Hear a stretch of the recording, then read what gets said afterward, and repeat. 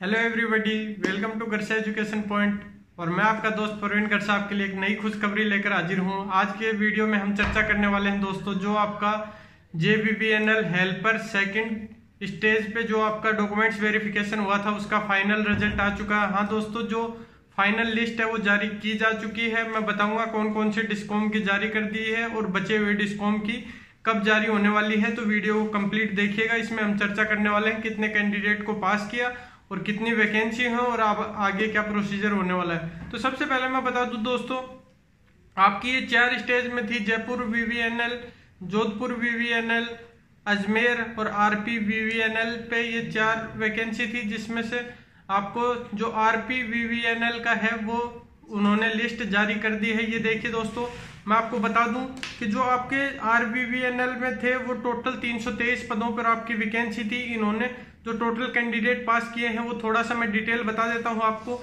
Journal के एक candidate को पास किया है, जिसमें इंक्लूड 10 एक्स सर्विसमैन यानी जो एक कैंडिडेट्स में 10 एक्स सर्विसमैन भी काउंट है। ओबीसी के टोटल छियासठ कैंडिडेट हैं, जिसमें 18 एक्स सर्विसमैन है दोस्तों।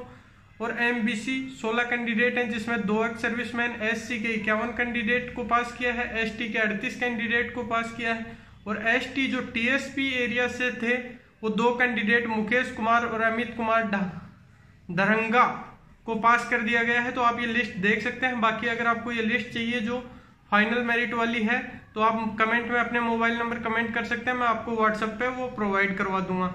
अब बात करते हैं कि जो बचे हुए जोन हैं या फिर इनका जो फाइनल लिस्ट हो हो गया, इनका क्या होने वाला है तो दोस्तों बता दो, जो आपकी काउंसलिंग की डेट थी, वो पहले 22 अक्टूबर थी, जो एक नोटिफिक नोटिस आया है, जो बढ़ा के 24 अक्टूबर कर दी गई है। हाँ दोस्तों, आपकी 24 अक्टूबर को आपकी फाइनल काउंसलिंग होगी। उसके बाद जो कैंडिडेट वहाँ प्रेजेंट नहीं होते हैं किसी कारणवश तो आपकी वेटिंग लिस्ट जारी कर दी जाएगी। तो जो कैंडिडेट एकदम किनारे पे हैं या जो अभी जिनका इस लिस्ट में नाम नहीं है, वो भी चिंता नहीं करे। क्या पता काउंसलिंग के बाद में जितने कम कैंडिडेट प्रेजेंट होते हैं तो सेकंड लिस्ट जारी हो जाएगी।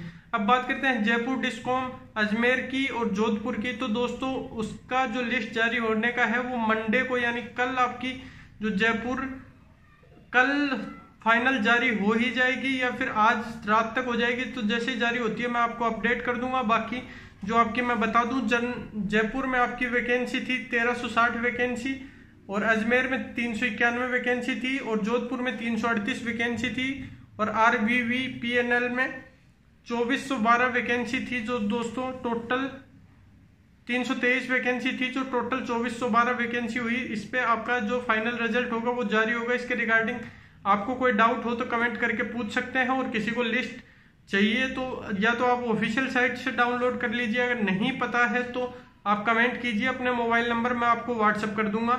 आज के वीडियो में इतना ही। थैंक यू दोस्तों। और जो पास हो गए कैंडिडेट वो कमेंट में ज़रूर बताइए और सबको मेरी तरफ़ से बहुत बहुत बधाई। Thank you